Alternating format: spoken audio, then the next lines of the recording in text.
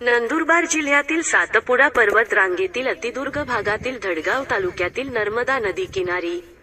आदिवासी डोंगराळ भागात व धडगावपासून चाळीस किलोमीटर अंतरावर वसलेले भूषा या गावात. भारत स्वातंत्र्यानंतर पंचाहत्तर वर्षात प्रथमच महाराष्ट्र राज्य वीज वितरण महामंडळ विभागामार्फत प्रथम गावात वीज पोहोचली आहे.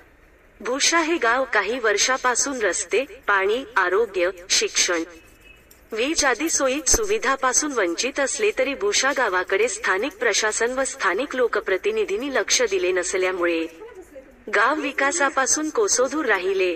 गावातील युवक आधुनिक धावत्या युगात उच्च शिक्षण घेतल्यामुळे गावाचा विकास होण्यास सुरुवात झालेली दिसून येत आहे. स्वातंत्र्याच्या पंचाहत्तर वर्षानंतर प्रथमच विजेची सोय झाल्याने गावांमध्ये अंधारापासून मुक्तता मिळणार आहे. याबाबत ग्रामस्थांनी विशेष आनंद व्यक्त केला आहे. भूषा गावातील खुटालीपाडा वजा एक खुटालीपाडा वजा दोन हक्तारा विहिरपाडा विमानतळपाडा ओकायापाडा भूषा पायानेट आदी पाड्यावरील तीस ते चाळीस कुटुंबातील लाभार्थ्यांना विजेचा लाभ होईल.